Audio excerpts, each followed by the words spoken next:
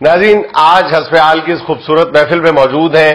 اپنے حلقے میں حالیہ انتخابات میں شکست کھانے کے بعد پہلی بار سابق وفاقی وزیر محترمہ ڈاکٹر فردوس عاشق عوان صاحبہ اپنی دو عدد سپورٹرز کے ہمراہ۔ ویسے میں معافی چاہتی ہوں جنید صاحب، تعارف میں یہ ضروری نہیں تھا کہنا کہ فردوس عاشق عوان شکست کھانے کے بعد۔ ہو گیا ڈاکٹر صاحبہ یہ جنید صاحب شکست نہیں ہے یہ عالمی سازش ہے۔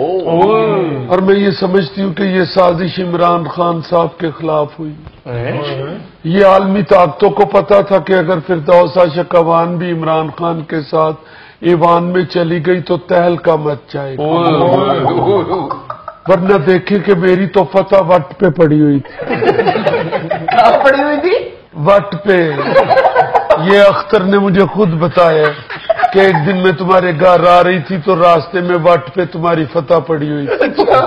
جب مجھے خیال آیا کہ یہ تو فردوس کی فتح پڑی ہوئی تھی میں واپس مڑی ہوں اٹھانے کے لیے تو کوئی عالمی استعمار اٹھا کے لے گئی ہوئی یعنی عالمی استعمال کی سازش ہے آپ کی شکست۔ جی ہاں میں پہلے بتا چکی ہوں۔ اچھا کل تک آپ کہتی تھی کہ ڈار آپ کے خلاف سازش کر رہے ہیں۔ آج آپ کہہ رہی ہیں عالمی استعمار آپ کے خلاف سازش داروں نے مجھے کیا حیران ہے جنید صاحب وہ تو بےچارے خود دار گئے۔